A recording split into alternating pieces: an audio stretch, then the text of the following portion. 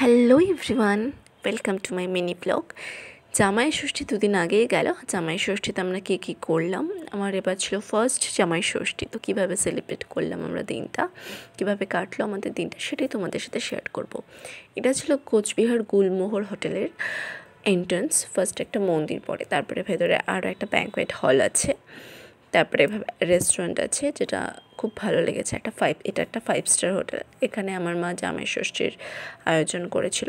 মানে বাড়িতে রিচুয়ালস করেছে, যেভাবে হাত পাখা দিয়ে ওই দুব্বো জল ঠল দিয়ে দেয়, সেভাবে তো অবশ্যই পালন করেছিল। আর এটা আমার জামাই ষষ্ঠীর একটা হালকা স্বাদ ছিল। খুব সিম্পল সেজেছিলাম। এই শাড়িটা আমাকে আমার মা গিফট করেছে ষষ্ঠীতে। তাই আমি এটা পরে নিয়েছি। পরে নিয়ে দেখলাম কেমন লাগছে। মা এখানে একটা হালকা রিচুয়ালস করছে। এখানেও যেখানে, এখানে একটা, কারণ জামাই ষষ্ঠী একটা থিম রাখা ছিল এখানে। কিছু পিক্স কালেক্ট করার জন্য তো আমরা সেটাও করেছি। আর মোটামুটি এখানে আমাদের খাওয়া দাওয়া স্টার্ট হয়ে গেছে। সবাই মিলে এখানে আমরা প্রচণ্ড এনজয় করেছি। বুফে খাবার ছিল, তো আমরা নিয়ে নিয়ে খেয়ে নিয়েছি, এই যে। আর এখানে একটা ভালো বিষয় কি, এখানে স্যাক্সোফোন বাজানো হচ্ছিল, যেটা শুনতে আমাদের সবার খুব ভালো লাগছিল। তো এভাবে পুরো দিনটা আমরা এনজয় করে কাটিয়েছি। খাবার দাবার এখানকার খুব ভালো ছিল। কেউ চাইলে এখান থেকে খাবার দাবার মানে এখানে যেতে পারো, এখানকার খাবার দাবার বিহেভিয়ার সত্যিই খুব ভালো। Bye bye thank you everyone